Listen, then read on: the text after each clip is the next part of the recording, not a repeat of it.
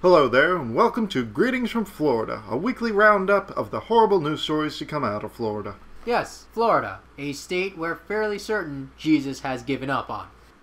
For our first story, we have an incident that involves bath salts. A man high on bath salts attacked a car, smashing his head into the windshield. The man was then confronted by a local fire chief who tried to question him. When confronted, the man proceeded to attack the fire chief and bitch slap him across the face. Fire chief then apparently punched him in the face, which had no effect, and so picked up a radio and then hit him with it. It's hard to call it a fight so much as one man getting his ass kicked by a much bigger and stronger man. While high on various amounts of drugs.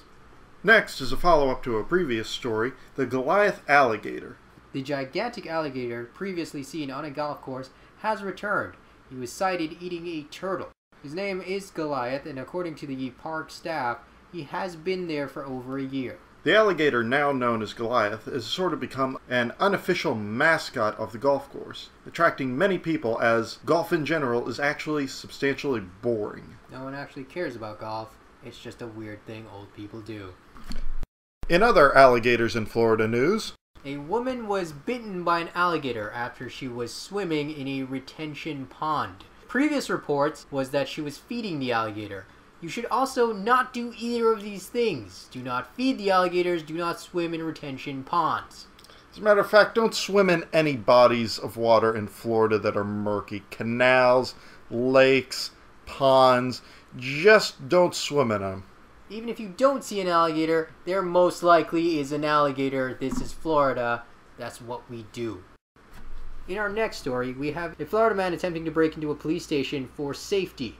That's not really the real story. The real story was he was high on a new designer drug called Flakka. Flakka is a new drug made from bath salts cut with cocaine, methamphetamine, or some other unknown substance smoked through an e cigarette. Any combination of this and Floridians is just going to end horribly in a bad event that nobody wants. Yes, just try to imagine cannibalism times 3,000. An unsettling discovery at Sunrise Middle School where two seventh graders were found with a large cache of weaponry. The cache included a 357 Magnum, 59 bullets, two sets of knives, a ski mask, and some fireworks. Don't worry, the students have been given a 10 day suspension. Pending expulsion. Mary Fitzgerald of the Teachers Union said, Most people thought there was a plan other than what the children said about the suicide pact. The amount of weaponry, the ammunition, the ski mask, it just doesn't add up. Gee, you think? Both students claim a long history of bullying in verbal and physical abuse, as well as cutting themselves and have the scarring on their arms to prove it. The school plans to respond to this by cracking down on students with difficult and aggressive behavior. This appears to be a continuation of their standing policy, though, as this is the third of several incidents to happen this month.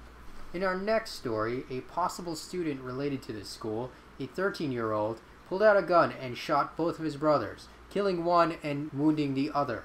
The argument seemed to have stretched from a issue over cooking food the firearm used for which seems to have materialized out of thin air, as the child had no access to firearms whatsoever. The police have not informed the mother of which son has died because they're playing some sort of strange game of which one of your kids is dead. Next, we have an interesting carjacking story from a woman who seems to be the worst criminal ever. The woman seems to have used her personal cell phone to call a pizza delivery. When she claimed to go inside to get the money, two men robbed the pizza guy at knife point. She then took off with the two men in the stolen car from the pizza guy. The car was later discovered with a photo album filled with pictures of her. This has to be the stupidest criminal ever.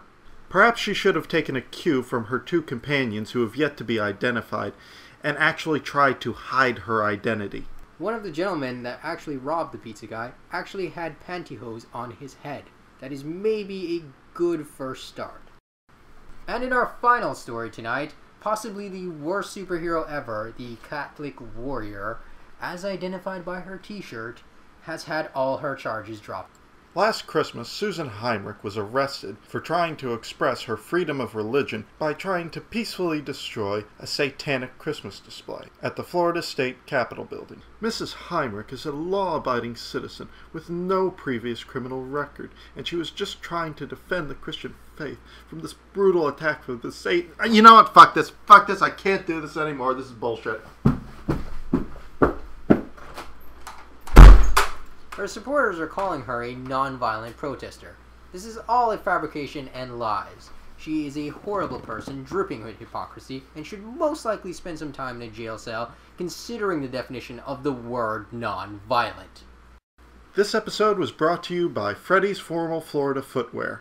Flip-flops, good for any event, such as a beach wedding, a mass suicide cult, various drinking establishments, your own arrest and arraignment.